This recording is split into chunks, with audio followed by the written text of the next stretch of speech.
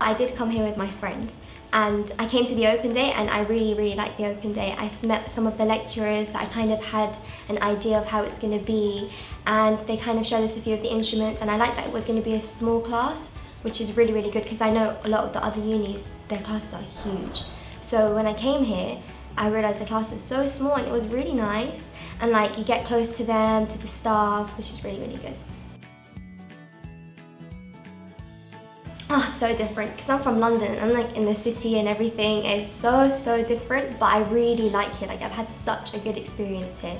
And I've come with my friend as well so we've kind of like found other friends from England and it's really really nice. And the beaches as well like we're close to the beaches but Northern Ireland is very different from London but the people here are so nice so so nice. My favourite thing about studying here was that I'm independent and I don't rely on my parents so much.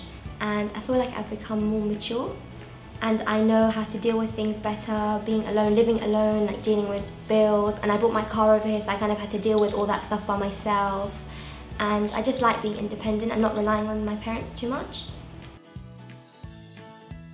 I think people from England should come over. Like the, the new first years, we've become quite close to them because they're from England and we kind of can express the same, you know, views. But I do think people, more people from England should come here because it is a really good experience. It's different from London, it's different from England. You do different things, you meet different people, you learn about different cultures.